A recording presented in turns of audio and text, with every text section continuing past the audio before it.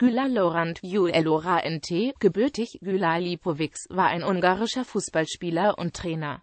Spielerkarriere Lorand begann 16-jährig bei Kosegise, dem in seinem Geburtsort ansässigen Verein, mit dem Fußballspielen und wurde zwei Jahre später zur Saison 1942-43. vom Erstliga-Aufsteiger Halada Sambat verpflichtet.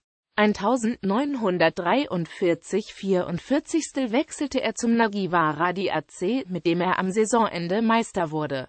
Über Nemzeti Vasas 1944 kehrte er zum Nagyvárad AC, der sich zwischenzeitlich in Liberteti Oradea umbenannt hatte, zurück. Die Saison 1946-47 spielte er für den aus der rumänischen Stadt Turad stammenden Uta Arad, mit dem er am Saisonende die Meisterschaft gewann. Von 1947 bis 1950 war er für Vasas Budapest, von 1951 bis 1956 für Honved Budapest und für eine Spielzeit für VACI Vasas aktiv. In der Mannschaft von Honved Budapest spielte er unter anderem mit Stars wie Ferenc Puskás oder Josef Boschik zusammen. Von 1942 bis 1955 bestritt er 42 Länderspiel für Ungarns Nationalmannschaft. Der erste Höhepunkt seiner Karriere war der Gewinn der olympischen Goldmedaille 1952. Er absolvierte 1954 fünf Spiele in der Abwehr der Nationalmannschaft Ungarns und zählte zu den Spielern die im legendären Finale der Weltmeisterschaft 1954 in Bern der Auswahl Deutschlands unterlagen.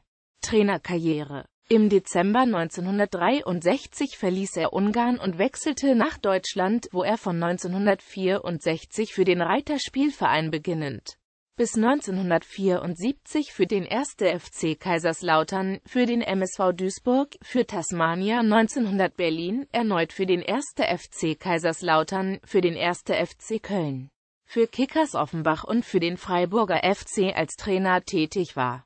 Danach nahm der die Trainerstelle beim griechischen Erstligisten PAOK Saloniki an und führte die Mannschaft 1976 zur Meisterschaft.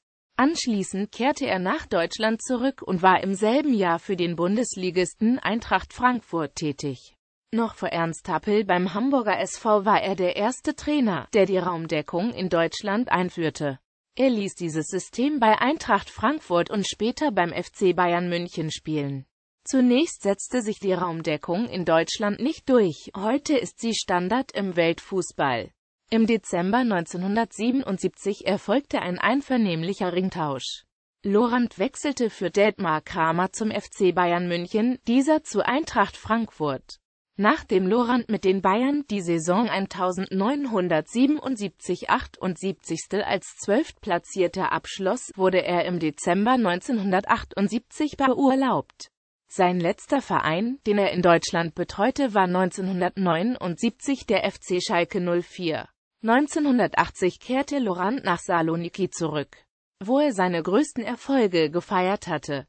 Im Frühjahr des folgenden Jahres erlitt er bei einem Spiel seiner Mannschaft gegen Olympiakos Piräus auf der Trainerbank einen Herzinfarkt, an dessen Folgen er starb.